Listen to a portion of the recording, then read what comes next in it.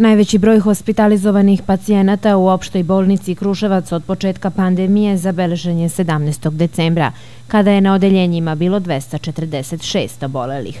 Danas je situacija povoljnija, kaže direktorka opšte bolnice Kruševac Vesna Stević-Gajić i dodaje da su trenutno na bolničkom lečenju 63 pacijenta, a u jedinici intenzivne nege njih devetoro. Nici koji se leče u bolnici su sa sradnje teškom i teškom kliničkom slikom, znači svi imaju upalu pluća, da li je to jednostrana ili obostrana upala pluća sa nižom saturacijom, ali su stabilni, sem devetoro koji se nalaze u jedinici intenzivne nege, a od toga troje su na mehaničkoj ventilaciji.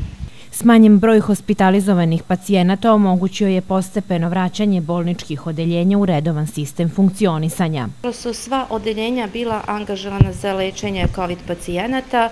Od pre deset dana počeli smo da vraćamo postepeno odeljenja u normalno funkcionisanje.